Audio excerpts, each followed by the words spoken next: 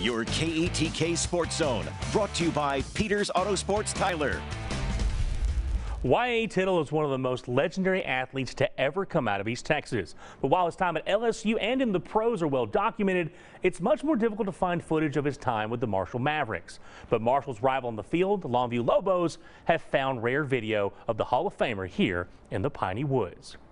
David Cotham, whose son Jeremy wrote Friday Night How, a book chronicling the history of the Longview Lobos, hosted a meeting Monday afternoon unveiling found footage from the Lobos game against Marshall from November 20th, 1942.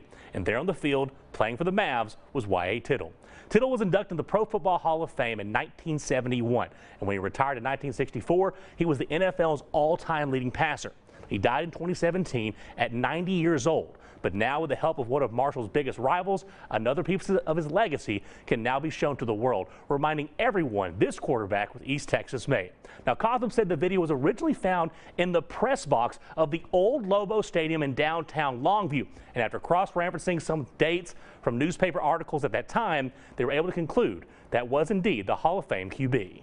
We sat there in my office and we said, if this is what we think it is, and we think it is film of uh, Y.A. Tittle in high school, we don't think anybody else has it. We have found a very historical find for, for high school football fans. Continue uh, his uh, legacy, and it will honor uh, him, and it will bring attention to uh, high school football in East Texas. As we know, Marshall has named their uh, field after him, their field house.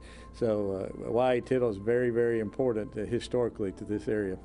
The Longview Booster Club will be selling DVDs of the game at the Longview Athletic Office this week, as well as at the football game Friday night. They'll also be allowing the Marshall Booster Club to use the video as they see fit in their community.